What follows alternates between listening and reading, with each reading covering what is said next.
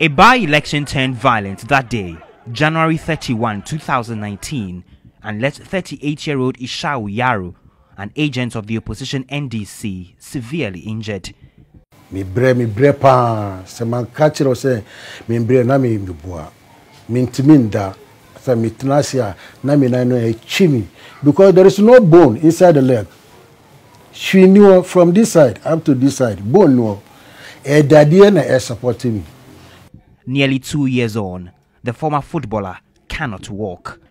The impact on his family has been telling. yɛ a yɛ mampanin dada john dramani mahama. Mɛda no ase paa because since in- incidents wei appear ɛyɛ john dramani mahama ɛna ɔtake care of me. Bill ɔwɔ hospital medicine a meba fie ɔno na ɔma ne sika a yɛde ma me ɛne me me ne me families. Events of that fateful day keep playing back in his mind. His wife, Aisha Yaro, broke down in tears as she recalled experiences since the incident. ade a ɛsi wɔ west wɔ a me kunu dompe agu fɔ boys obi asoro me kunu ɔnim deɛ ɔyɛ ne ho S- wonim nyame ɔno na ɔbɔɔ papa ɛna ɔbɔɔ bɔne nti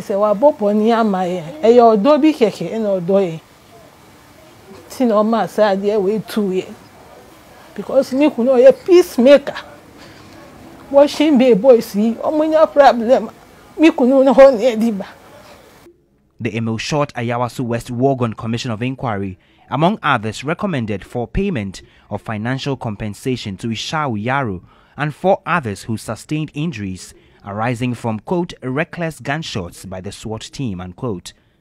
But that has still not happened one year since government issued the white paper on the matter. Executive Director of Jatikay Center for Human Security and Peace Building, Adib Saani, is disappointed but not surprised. There was no commitment from day one. It was just um, a way to let the diplomatic community or the larger Ghanaian population know that the government was committed to it. Uh, it was at uh, almost at that same time we had the passing of the anti-vigilantism and other related offences law into law.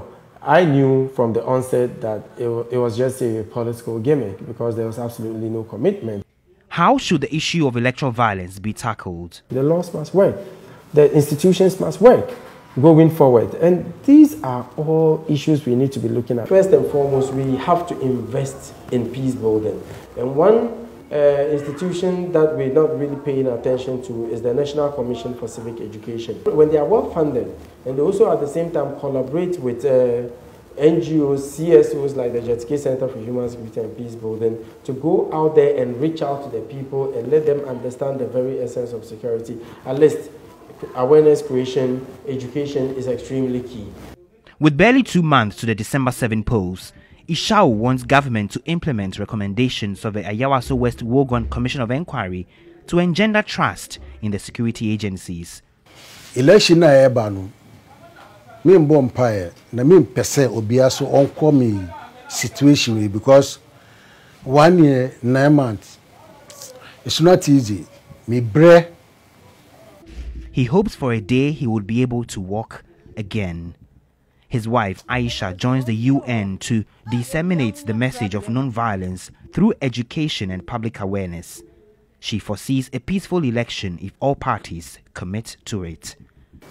abatoɔ wei deɛ mebɔ mpaeɛ sɛ sɛ deɛ yɛfili sɛ ɛbɛyɛ hu no insha allah ɔmma ne nyɛ hu ɔba bɛma na ayɛ mmerɛw asen abatoɔ bi a ɛsi ɛwɔ ghana ha no ɔbɛma na ayɛ very peaceful. Na ayɛ example ama the rest of the countries no. Kamala Adum, TV3 News, Accra.